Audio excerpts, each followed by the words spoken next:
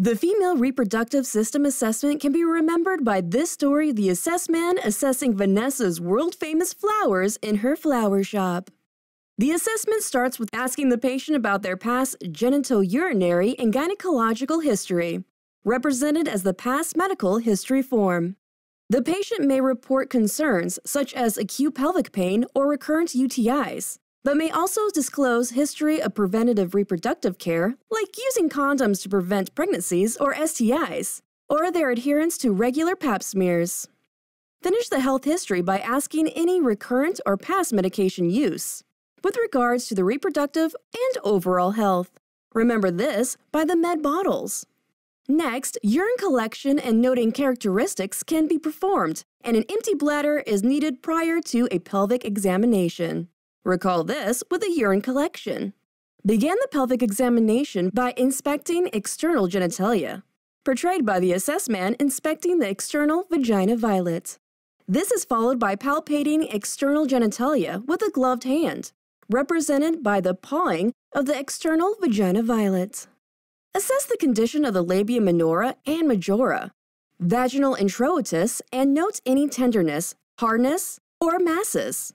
Following this exam, inspect internal genitalia using a lubricated speculum, shown by inspecting the internal vagina violet. And ensure comfort for the patient by warming the speculum with warm water and counsel the patient during the examination about pressure when inserting. Encourage the patient to relax and take slow, deep breaths to decrease vaginal tension against the speculum. Examine the vaginal wall for color, texture, and integrity while inserting the speculum, pictured here by examining the vagina violet wall.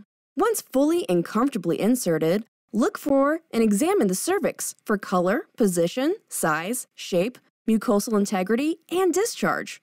Recall this with the cervix certificate. After inspection, and if clinically indicated, obtain a pap smear and additional cultures from in and around the cervix. Finish the pelvic examination by palpating internal genitalia and performing a bimanual examination with two gloved fingers and a gloved hand on the patient's lower abdomen. Remember this by the paw at the internal vagina violet. Note abnormal findings and follow up care as appropriate for the patient pictured in this Picmonic literally. In summary, start the female reproductive system assessment by asking the patient about their past genitourinary and gynecological history, current and past medication use. The external genitalia examination includes inspection and palpation of the external genitalia. Next, inspect the internal genitalia by using a lubricated speculum and examine the vaginal wall for color, texture, and integrity during insertion. Once fully inserted, find and examine the cervix for color, position, shape, mucosal integrity, and discharge. Collect a pap smear and other cultures if needed.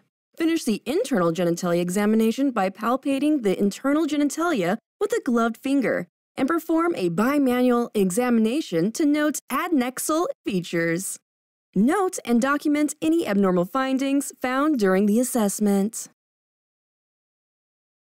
Vanessa's flower shop is getting quite the attention for her show-stopping flowers. And as the assess man, I have to find out why. First, I start by reading the critics' raving reviews about the shop's past history and endorsements about her floral elixirs and medications, both past and current. You can see them proudly displayed in the window. The critic, in, seems excited about her collection and notes characteristics to her success so you know I had to assess it too. Next, I see the shop for myself and inspect her most popular flower, the vagina violet. They weren't dandelion, it's breathtaking. I paw at it to get a better look. But why is it so special? I have to take a look inside. What incarnation! To my surprise, I saw a beautiful wall of violets with outstanding vivid colors, textures, and integrity. For the rest of the story, check out Picmonic.com and sign up for a free account. There, you can also take Picmonic's quiz. The quiz automatically sets up your daily quiz by using spaced repetition algorithms based on the questions you've missed or struggled with to make sure you study what you need when you need to. And while you're there, check out the rest of our head to toe assessments Picmonics. We've got all the content you'll need to remember. everything from cognitive abilities assessment, cerebellar assessment, skull, scalp, and hair assessment, head, face, and neck assessment, eye assessment, and so much more, so you can lock down on everything you need to know forever. Play, quiz, and spaced repetition.